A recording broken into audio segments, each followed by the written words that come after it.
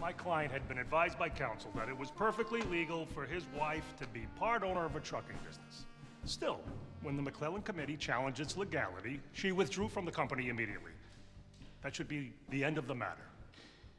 There, there, there had been not one indictment served against my client in 13 grand jury investigations. Your Honor, this, this is a, an example of a personal vendetta against my client, against his family by a, a, a frustrated Justice Department and the Attorney General, Robert Kennedy.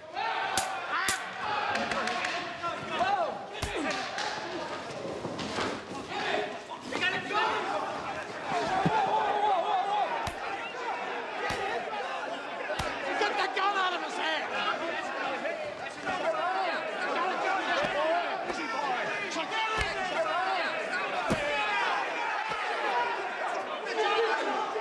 That was not a real gun, was it? How'd that gun get in?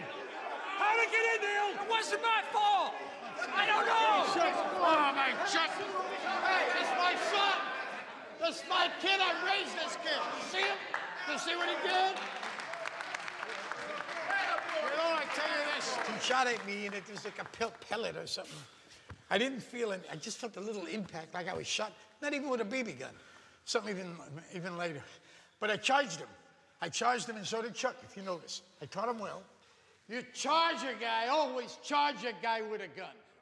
With a knife, you run away. Run away from a knife. So you charge with a gun, with a knife, you run. That's right.